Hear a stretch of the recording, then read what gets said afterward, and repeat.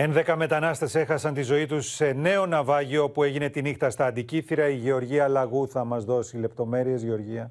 Δυστυχώς, Γιάννη, κυρίες και κύριοι, τραγικός απολογισμός. 11 σωροί έχουν περισυλλεγεί μέχρι αυτήν την ώρα από τη θαλάσσια περιοχή γύρω από το Πρασονήσι. Βρίσκεται νότια των Αντικυθύρων. Τι ακριβώς είχε γίνει, ένα ιστιοφόρο σκάφος το οποίο επέβαινε 100 περίπου άτομα, προσέκρουσε πάνω στη βραχονισίδα Πρασονήσι. Να πούμε πω είχαν ξεκινήσει από τα τουρκικά παράλια ένα συνηθισμένο δρομολόγιο με προορισμό στην Ιταλία. Βλέπουμε αυτή τη στιγμή και στα πλάνα. Πρόκειται για μια μεγάλη επιχείρηση. Εκεί, με το πρώτο φως της ημέρας, Γιάννη, κυρίες και κύριοι, τα φουσκωτά, τα στελέχη του λιμενικού, αλλά και οι βατραχάνθρωποι προσπαθούσαν να προσεγγίσουν το σημείο. Άρα, οι, οι δυστυχείς αυτοί άνθρωποι έμειναν όλη τη νύχτα εγκλωβισμένοι σε αυτή την νησίδα μέχρι ότου ε, έρθουν με το πρώτο φως της ημέρας οι άντρες του λιμενικού σώματος με τα σκάφη να τους πάρουν. Ακριβώς Γιάννη, ήταν, είναι δύσβατο πώς μπορούμε να δούμε από τα πλάνα μας το σημείο και έκανε και αρκετό κρύο.